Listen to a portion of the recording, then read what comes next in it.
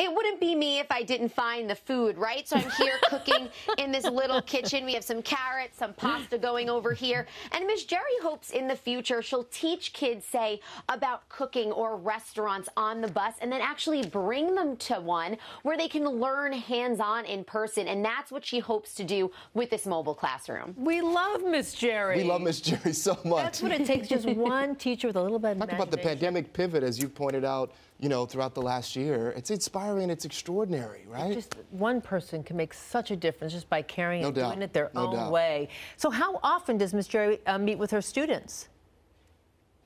So she has a few classes that meet twice a week for two hours each, where they do some mixing of learning in the bus and outside of the bus. Each class has about two to six students, so much smaller. And in Miss Jerry's case, she thinks it's much safer than going to a traditional classroom right now where there may be 20 plus students. It is phenomenal. Love right. this. This it is sure a is. good pivot. And also, we expect nothing less than for you to find food.